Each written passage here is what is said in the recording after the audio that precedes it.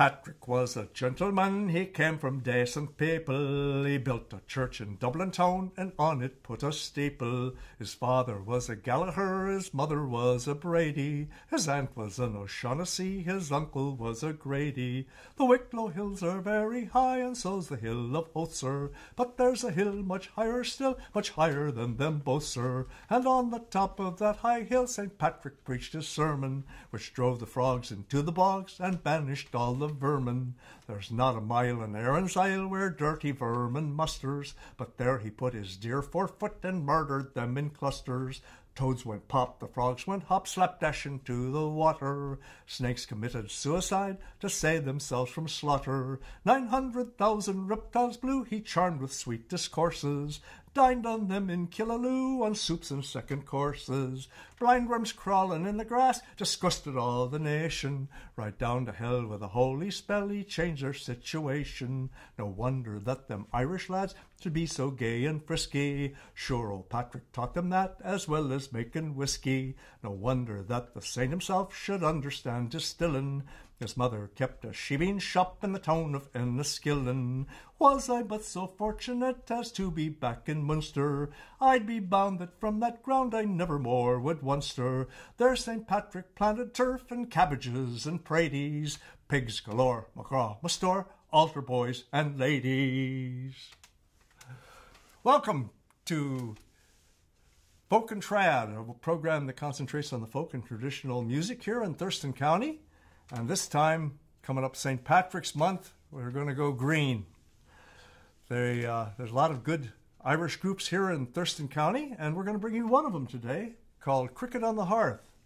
Last fall, TCTV uh, remodeled and reopened, uh, and at that time they asked Cricket on the Hearth to come and play for the reopening. So they've generously allowed us to use some of the uh, video from that opening to help us celebrate St. Patrick's Month. So here is Cricket on the Hearth. Keep your eyes well peeled today, the excisemen are on their way, searching for the mountain tail, hills of Connemara. Gather up the pots and the old tin pans, the mash, the corn, the barley and the bran, run like the devil from the excise man, keep the smoke from rising barley breezes as they blow. Hear their echo in the glen below. County men, they're on the go in the hills of Connemara. Gather up the pots and the old tin pans, the mash, the corn, the barley and the bran. Run like the devil from the excise man, keep smoke from rising barley.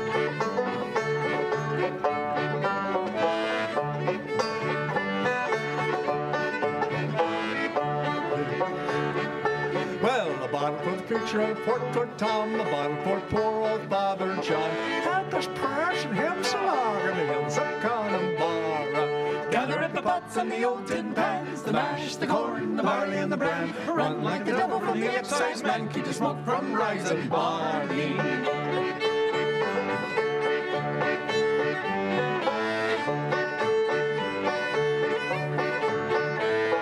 Stand your ground, boys, it's too late. The excisemen are at the gate. Glory be to God, but they're drinking it straight in the hills of Connemara. Gather up the pots and the old tin pans, the mash, the corn, the barley and the bran. Run like the devil from the excise man, keep the smoke from rising barley.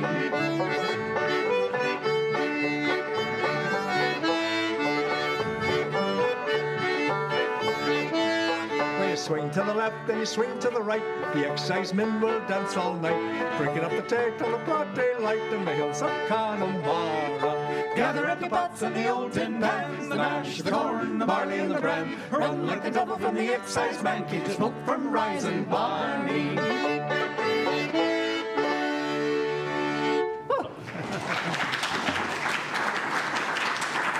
Thank you. We are Cricket on the Hearth. Anyway, in Ireland, they had a terrible windstorm come down, and so uh, Murphy, my good friend, he said, uh, his neighbor called him and he says, Well, how did you do last night, Murph? Murph says, Well, except for one of my hens got out. He said, But it turned out okay. He says, She just turned her back to that wind, but she did lay the same egg five times. That's, that's a strong, strong wind. Oh, yes. This is a little song called I'll Tell Me Ma When I Get Home. The boys won't leave the girls alone.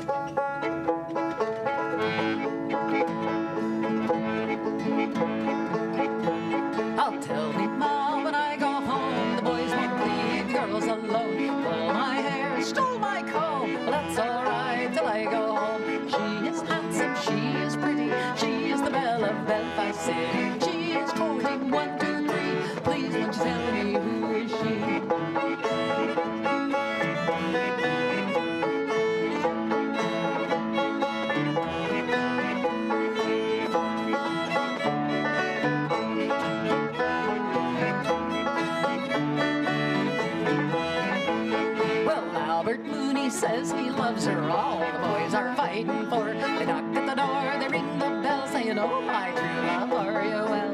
Out she steps as white as the snow.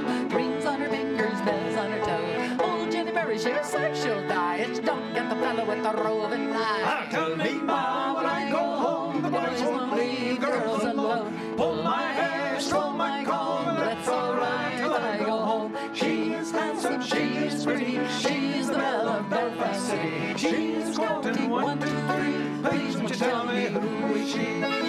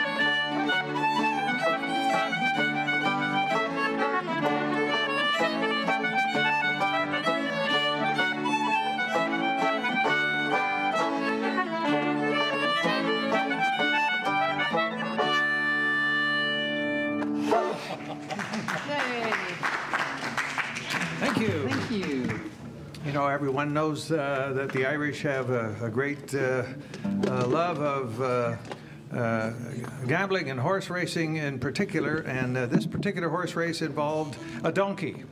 And so this is the, the story of uh, Delaney's donkey. So, are you ready, boys? We're ready. All right.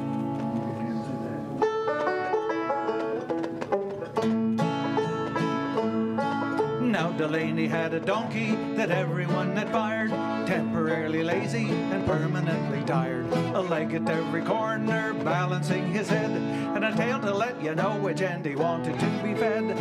Riley slyly said we'd underrated it, why not train it? Then he took a rag. They rubbed it, scrubbed it, oiled it, and brocaded it, got it to the post. And when the starter dropped his flag, there was Riley pushing it, shoving it, and shushing it. Hogan, Logan, and everyone in town lined up attacking it, shoving it, and smacking it. They might as well have tried to push the town hall down. The donkey was eyeing them, openly defying them, winking, blinking, twisting out of place.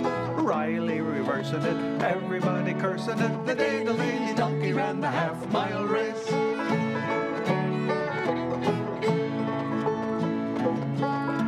The muscles of the mighty, never known to flinch. They couldn't budge the donkey a quarter of an inch. Delaney lay exhausted, hanging round his throat, with a grip just like a Scotsman on a five-pound note. Starter, carter, lined up with the rest of them. When it saw them, it was willing then. It raced up, braced up, ready for the best and then The crowd began to cheer pushing it, shoving it, and shushing it. Hogan, Logan, and Marianne McGraw. She started poking it, grabbing it, and choking it. It kicked her in the bustle, and it laughed. Hee-haw! The Whigs and Conservatives, the Radicals, Superlatives, the Liberals, Tories, they hurried to the place. Stood there in unity, helping the community. The day Delaney's donkey ran the half-mile race.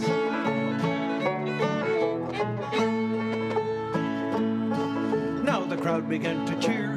Then Rafferty, the judge, he came to assist them, but still it wouldn't budge. The jockey who was riding, little John McGee, got so thoroughly disgusted that he went to have his tea. Hagen, Pagan were students of psychology, swore they'd shift it with some dynamite. They bought it, brought it, the donkey gave a sneeze and blew the whole lot out of sight. There was Riley pushing it, shoving it, shushing it, Hogan, Logan, and all the valley crew. Police and artillery, the garrison artillery, the second Enniskillens and the lifeguards too. They seized it and harried it, they picked it up and carried it, cheered it, steered it to the winning place.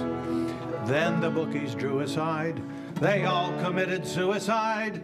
The day the Delaney Donkey won the half mile race. Yes, the day the Delaney's donkey won the half mile race. Thank you. All right, this song is called Do You Love an Apple? and it's an Irish ballad. Do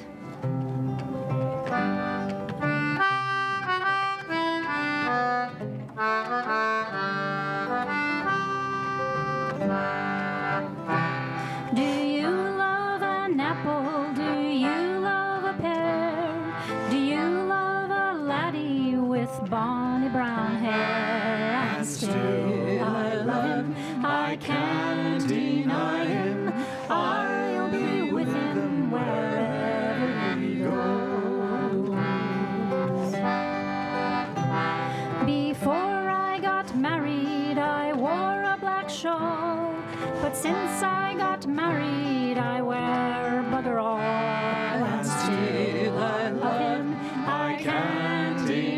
him.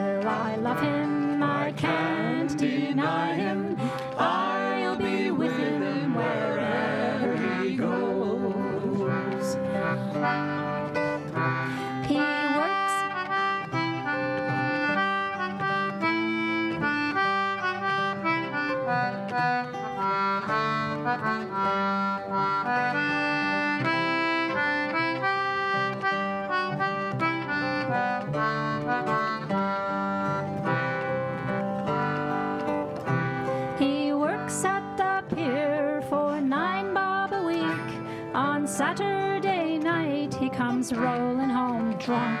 And still I love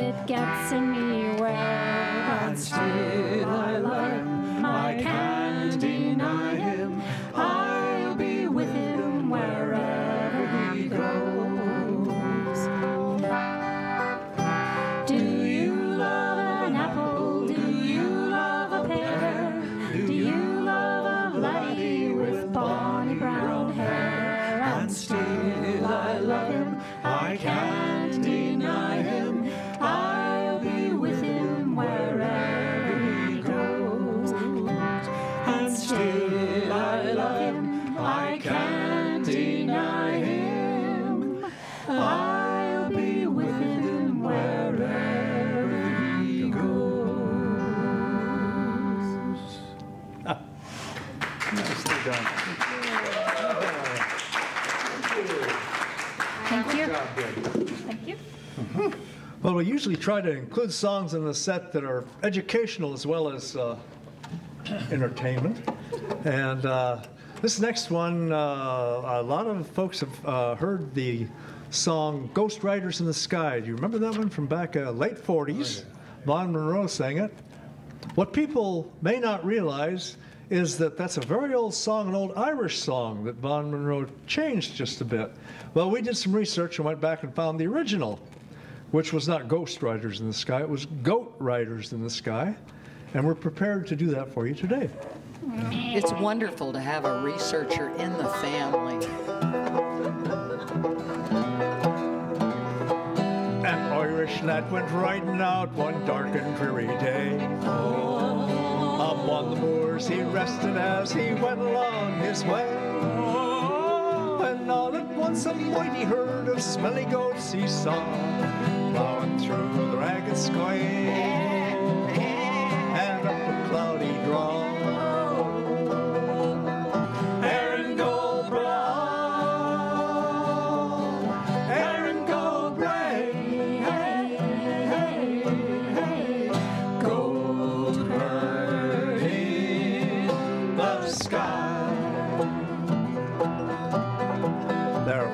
faces red and haggard, and their eyes bloodshot as well.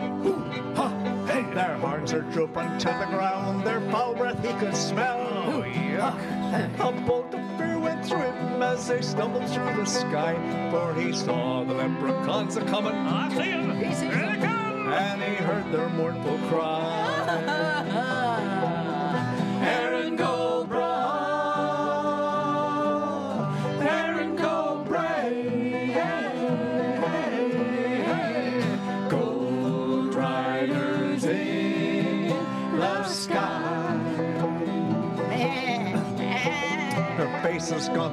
eyes are blurred, shirts all soaked with sweat. They're riding off to somewhere, but they ain't got there yet. No, not yet. For they've got to ride forever on them moors up in the sky. It's a silly thing to do. when you ask, they don't know why. Haven't got a clue.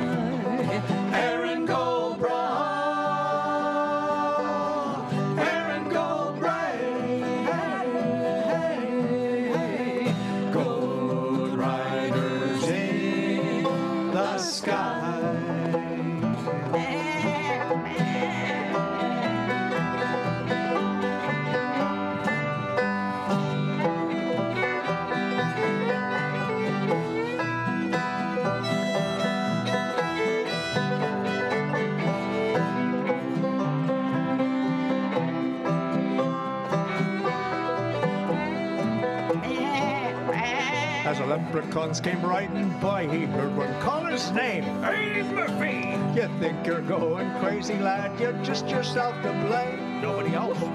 So get on back to Dublin or wherever you call your home. Or you'll spend all eternity At least a long, long time. up on that Blarney stone.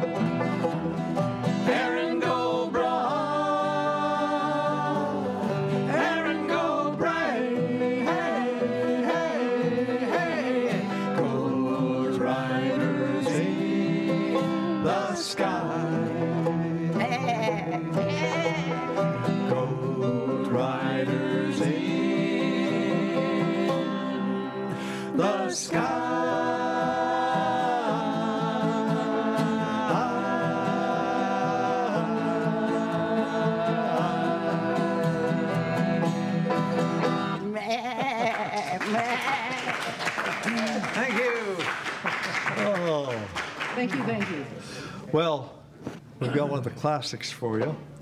But, uh, oh, I, Murphy, I, I forgot to tell you, uh, Murphy said the other, uh, Murphy got a call from his friend Finnegan.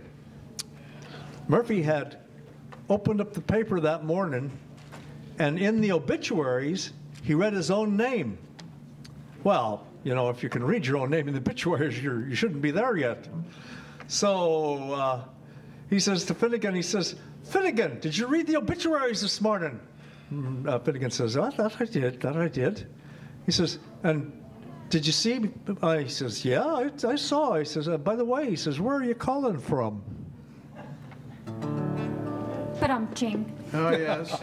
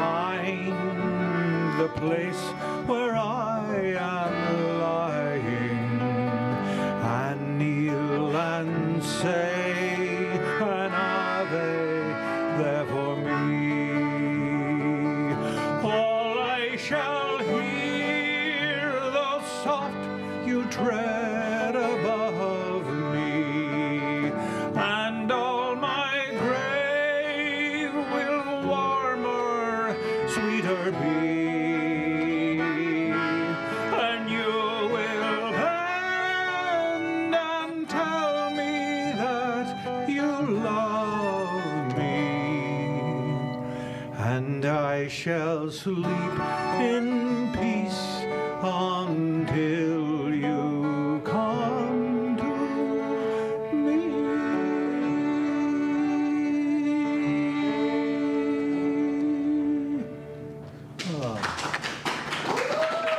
Thank you. Thank you very much. Our good friend Patrick Hill, who for many years uh, worked uh, for Evergreen State College, uh, when Patrick was growing up in New York in an Irish family, the family belonged to an uh, abstinence organization called the Pioneers. And this abstinence organization was also very prominent in Ireland. And uh, Patrick thought it was somewhat unfair, the reputation that the Irish sometimes seem to have foisted upon them for a love of the drink. And he thought there are other, uh, there are other ethnic uh, cultures in Europe that might drink more than the Irish. And so he delved into the rich collection of Irish songs, folk songs, to find the anti drinking songs. And he pulled out a set and put a few poems with them. He made the following set we're going to do for you. The odd thing is, these anti-drinking songs that uh, Irish uh, that Patrick put in here are usually always sung with a pint in your hand. Aye.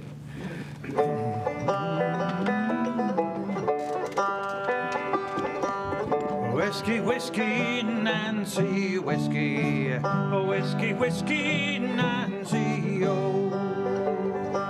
As I went down to Glasgow City, Nancy whiskey, a chance to smell. I went in, sat down beside her.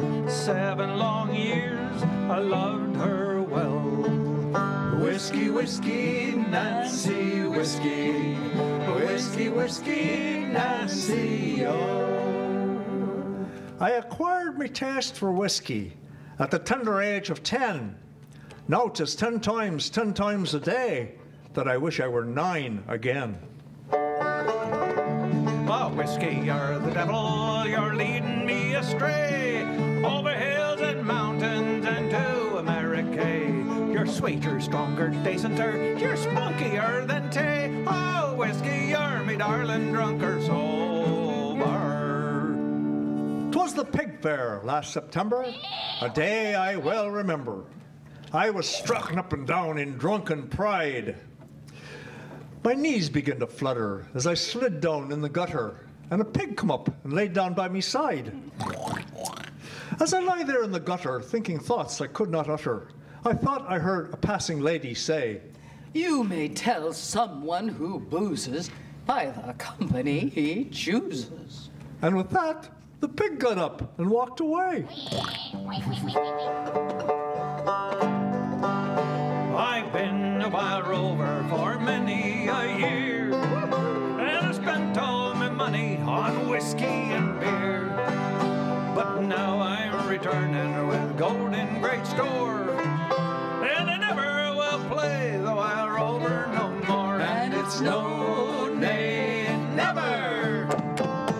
No, nay, never, no more will I play the wild rover. No, never, no more. The angel that God sent to guard me is named Gwyneth. After two pints of Guinness, I could not pronounce her name. Might we consider, I pray, an exchange? A Catherine or a Michael would do. But God frowned upon this cosmic shuffling and offered at most a stew. Huh, I feel downright deflated to be guarded by an angel named Stew. So I'll stick with God's choice of Gwyneth and I'll limit me Guinness to two. I'll go back to me parents, confess what I've done, them to pardon their prodigal son. And if they caress me as oft times before, then I never will play the wire rover no more. And it's no,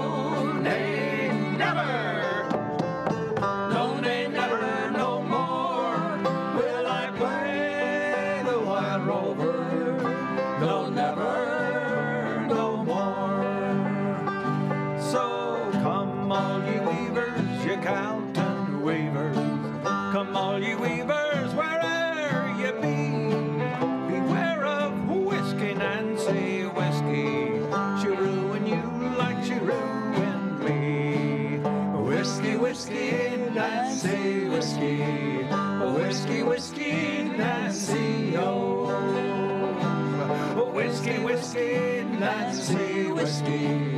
Whiskey, whiskey, Nancy, oh. Oh. Thank you. Let's see, you're gonna dance one, Deb? Um, okay. All right, yeah. All right. If we got a little room out front here, uh, our fiddler can also do a, uh shake a fine leg. Hi, yeah. So uh, we're gonna play a, a short reel for you, and uh, Deb will do a little dance. So this is called um, Irish step dancing. and usually it's done um, by young boys and girls in Ireland. They first learn how to use something called a soft shoe. And um, the first step is called seven. So this is what you would see little kids doing when they first learn how to do their, their steps.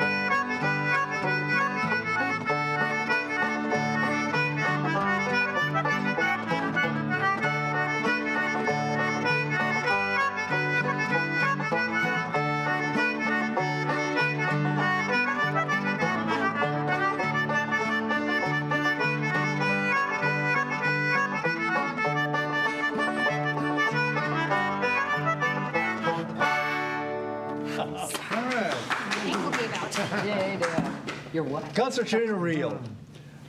Well, we got a couple more, and one of them is a song written by a fellow here in Olympia, Steve Kelso. Dusty's Yeah, sing us Steve about Kelso the benefits. uh, wrote this song a number of years ago. Uh, uh, according to the folklore surrounding this song, um, uh, uh, Steve at one time owned uh, an old uh, Victorian-style uh, house uh, down near the state capitol that was um, had been converted into a couple of apartment units, and they the apartments were rented by uh, young women who uh, worked uh, for the state agencies nearby. And, uh, you know, they weren't very expensive places, and, and uh, the, it was kind of old. And these gals, one of them in particular, was after Steve to convert the old clawfoot bathtub in the bathroom into uh, a shower she wanted to be able to take a shower. And well, uh, Steve looked into the expense, and the rent just didn't justify the expense of uh, the conversion. So he uh, wrote this song to try and convince her of the virtues of a hot bath. Now, me, I made some millions and I lost a few. I've been on Easy Street and on the Skid Road too.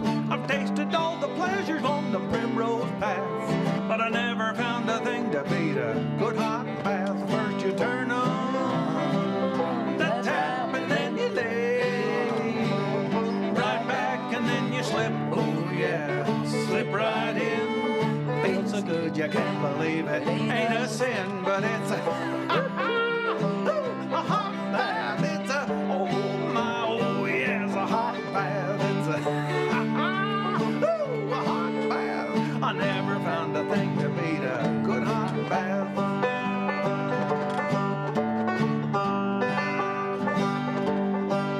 Well, you can keep your cognac and your caviar, your fancy Caribbean cruises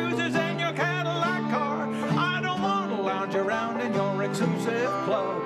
I'd rather have an hour in a good hot tub. First you turn on the tap and then you lay right back and then you slip. Oh yeah, slip right in. Feels so good you can't believe it. Ain't a sin, but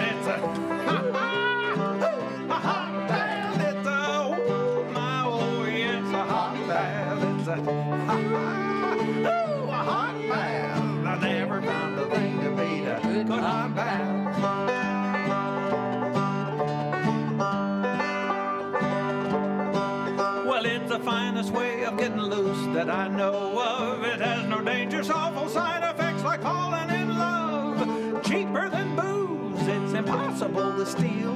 The hot bath has gotta be the world's best deal. First you turn on the tap and then you lay right back and then you slip. Oh yeah, slip right in. Feels so good you can't believe it. Ain't a sin, but it's a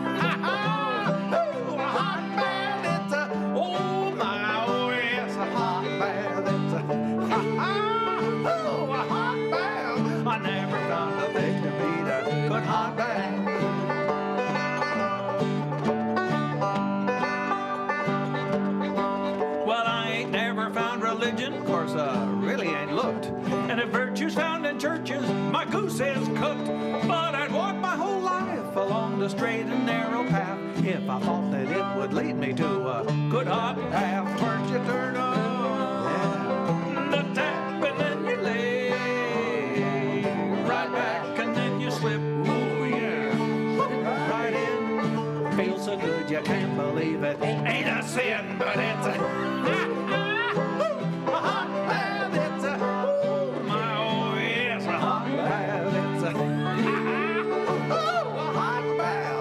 never found a thing to beat a good hot bath. I never found a thing to beat a good hot bath. Oh no, I never found a thing to beat a good hot bath.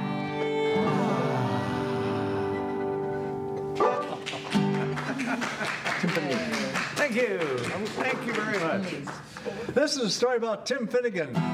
And Tim Finnegan was a hod carrier who fell off of a ladder. Uh, I can relate to that. I fell off a ladder this week myself, but I survived it. Tim didn't. He fell and he broke his neck. But in Ireland, they hold a wake for the departed party. But the wake for Tim Finnegan was so good that Tim didn't want to miss it. This is Tim Finnegan's wake. Tim Finnegan lived in Walking Street. A gentleman, Irish, mighty odd. He ain't a beautiful broke, so rich and sweet. To rise in the world, he carried a heart. You see, he'd sort of a devilish way with a love for the liquor port. Tim was born to help him on with his work each day. To drop in the breather every morn. Whack for the down, out dance your partner. Well, the floor your trotters shake. Wasn't it the truth? I told you lots of fun at Finnegan's wake. One morning, Tim felt rather full. His head was heavy, it made him shake. Fell from a ladder and he broke his skull. Carried him home, his corpse to wait. Rolled him up in a nice clean sheet and laid him out up on the bed with a gallon of whiskey at his feet, a barrel of porter at his head. Whack the down, now to your partner, well the floor your trotters shake. Wasn't it the truth? I told you lots of fun at Finnegan's wake.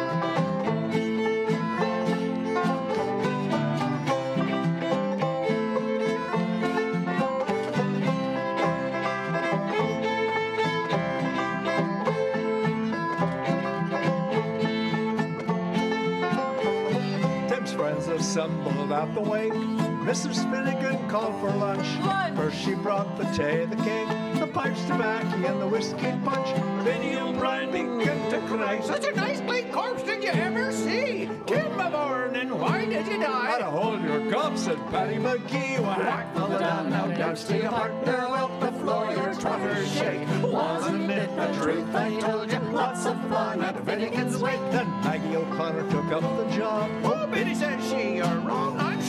Betty gave her a belt on the gob and left her sprawling on the floor. Then the war did soon engage, was woman to woman and man to man. Shillelagh law was all the rage, and around when eruption soon began. Whack for the down, now dance to your partner, well the floor your trotters shake. Wasn't it the truth? I told you lots of fun at Finnegan's Wake.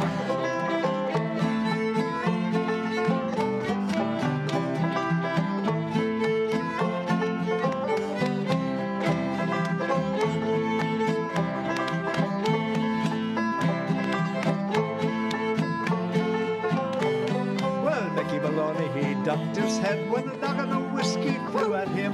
Missed and landed on the bed. Liquor scattered over Tim. Tim see how he rises. Timothy rises from the bed, said, Well, your whiskey round like blazes. Thunderman deal, do you think I'm dead? Hey, whack for the down, now dance to your partner, well the floor your trotters shake. Wasn't it the truth? I told you lots of fun Finnegan's Wake. Whack the down, now dance to your partner, once the floor your trousers shake. Wasn't it the truth I told you? Lots of fun at Finnegan's Wake. Hey! thank you. Thank you, thank you. Thank you, thank you, thank you. Thank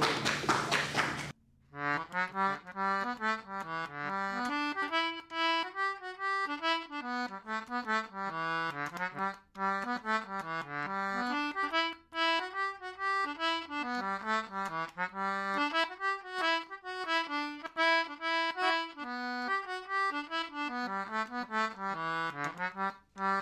ha.